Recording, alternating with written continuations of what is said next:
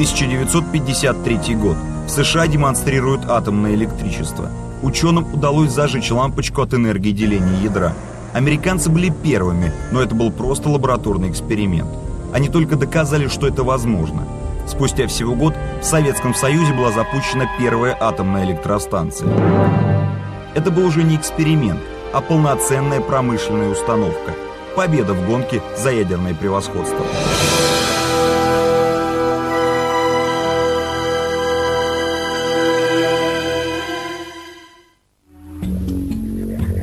Поселок Малый Рославец-1, Калужская область.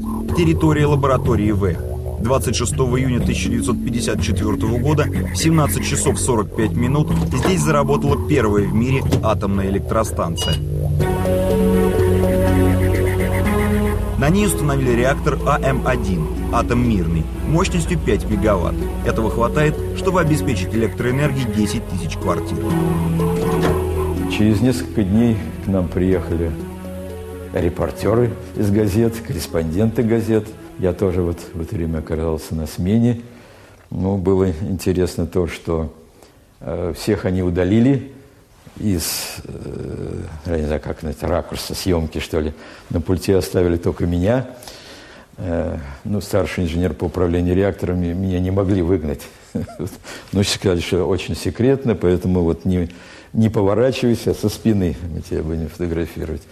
Ну, я, немножечко так вот чуть-чуть додвинул, думаю, может быть, меня как-то можно будет узнать впоследствии. Через несколько месяцев после пуска на АЭС приехала правительственная делегация. Маленков, Молотов, Булганин, Каганович и Микоян. Как только они вошли на территорию станции, по каким-то необъяснимым причинам сработала аварийная защита. Реактор остановился. Прибежал Николаев, начальник, главный инженер Григорян, давайте, давайте скорее, правительство есть, а у вас реактор стоит. И вот мы, значит, с Евдокимовым, своим помощником, в рекордные сроки за 10 минут подняли мощность до номинальной. И когда правительство вошло э, на путь, значит, э, реактор уже был на полной мощности.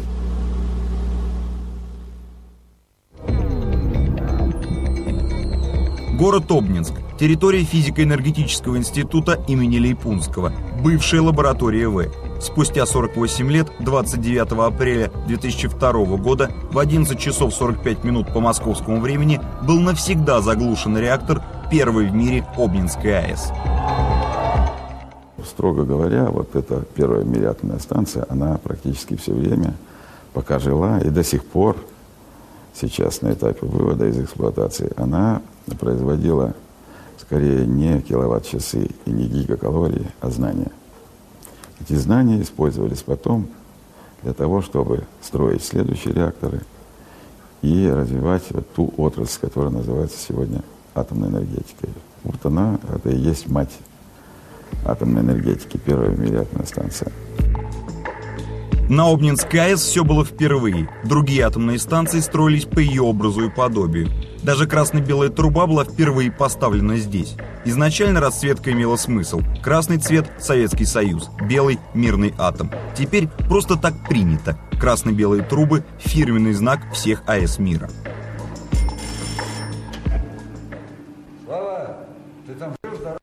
Любое помещение Обнинской АЭС оборудовано внутренней связью. Телефон есть в каждом закутке. За 50 лет ни один из них ни разу не выходил из строя.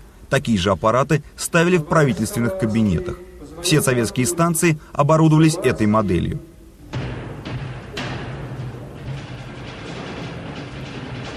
В случае ЧП выбраться наружу можно ориентируясь по этим значкам. Ими обклеена вся станция.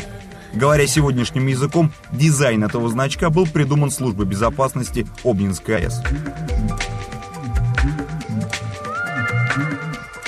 Человечество всегда волновали два вопроса. Откуда берется пыль и куда деваются деньги? Атомщиков больше заботила пыль. На АЭС это главный враг, в ней могут содержаться радиоактивные частицы. Все лестницы на всех АЭС покрыты пластикатом, специальным материалом, не впитывающим грязь. Края ступенек закруглены, это не дает пыли скапливаться в углах. Их здесь просто нет.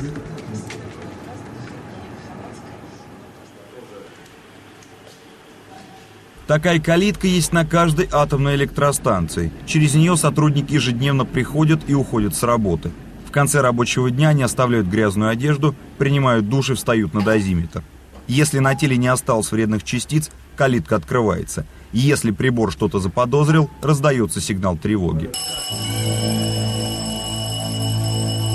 Это значит, что радиация превышает норму и нужно еще раз принять душ. Перед тем, как приступить к своим обязанностям, любой из сотрудников должен положить в карман вот этот маленький приборчик и до конца рабочего дня не расставаться с ним. Перед уходом его кладут в именную ячейку. Это вот термолюминесцентный дозиметр, при помощи которого осуществляется постоянный э, контроль облучения персонала, вот, индивидуальный.